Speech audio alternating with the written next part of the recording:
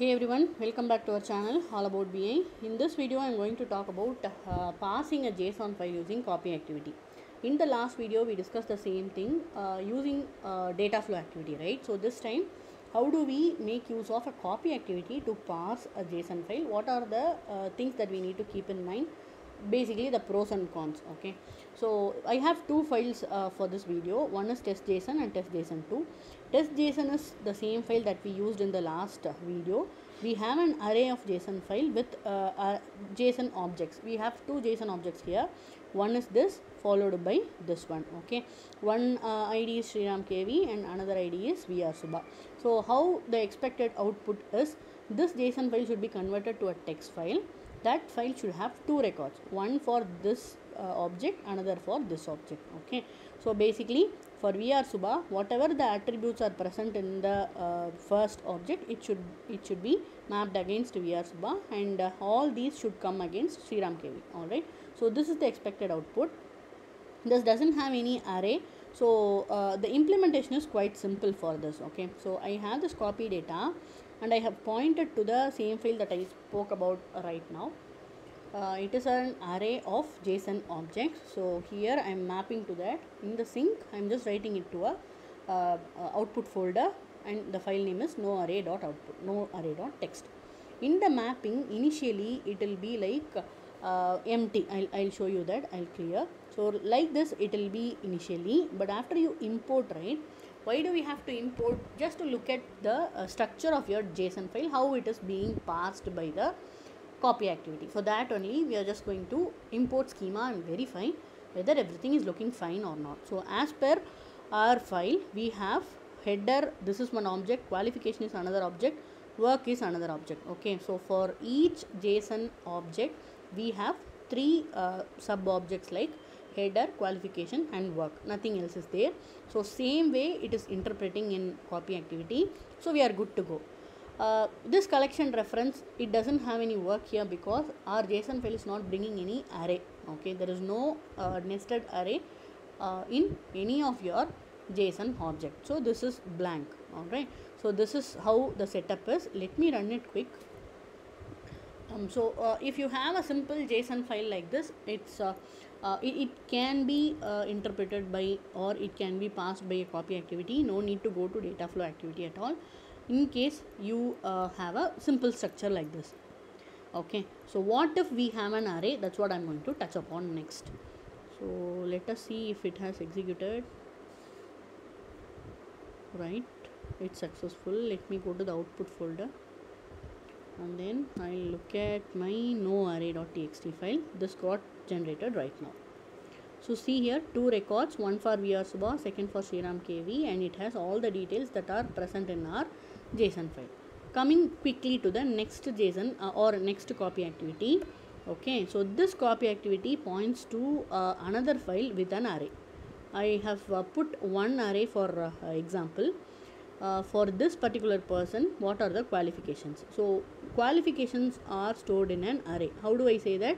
There is a square bracket inside that couple of objects are there. This is an array of json objects okay? The expected output as usual you should have two records. One for uh, btech one for mtech okay so this is what we are expecting. Uh, since our file is having um, array we need to make use of collection reference. Okay i'll show you that. So i have pointed to the uh, file that i showed you right now which is nothing but uh, an, a simple json file with a simple array right? So i'm just going to the mapping tab. Here i'll uh, reset now. Okay i'll i'll have to tell you a couple of things here so collection reference it is showing one array. What if you have multiple arrays? That is a question right? What if you have nested array that you have to experiment? So if you have two arrays there is no means uh, to unroll your data by those two arrays using copy activity. This is the minus with respect to copy activity. If you are going to uh, unroll your data by multiple arrays uh, you will have to use data flow activity okay? So uh, here since we just have uh, one simple uh, array right? We are just showing qualification in the drop down. All right? So by default you will just have uh, like this. You will not see any uh, kind of uh, schema information. But once i import you will be seeing some schema information. Okay? Like this. So i'm choosing qualification as uh, the collection reference. And if i run my um, pipeline as such without making any changes it's not going to write the data properly okay?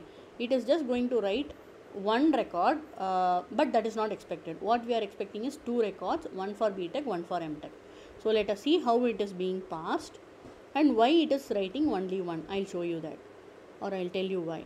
Collection reference 36 okay this is the output file.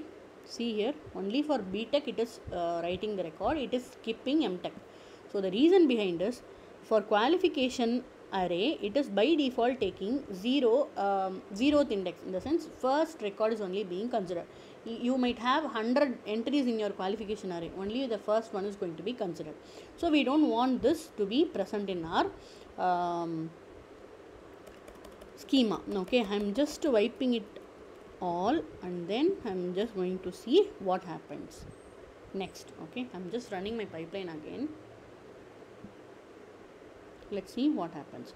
So just keep in mind that if you have uh, an array if you are choosing it in a collection reference uh, make sure to remove that index of 0 from your mapping. Otherwise it's not going to parse any other uh, data that is in the array. So let me see with array 3 5 i think. Is this the latest one or some failure happened I think it hasn't even run so it's uh, kind of stuck now. Uh, let me see and re-trigger it. I just closed my pipeline and uh, I'm just reopening and running it now. Let me see if it runs this time.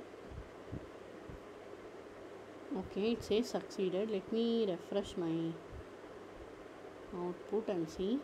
And as expected we have uh, two records one for btech and one for mtech so it's as simple as that uh, we just had removed one thing from the mapping okay?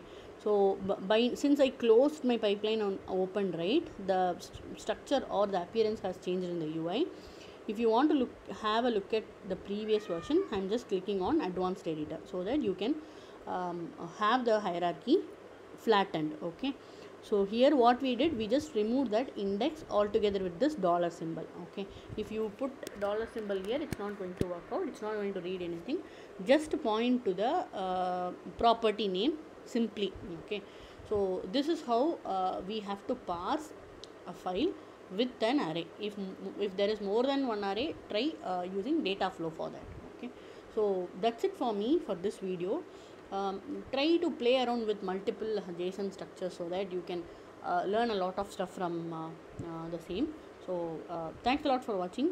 Keep supporting. Let me know for any questions you have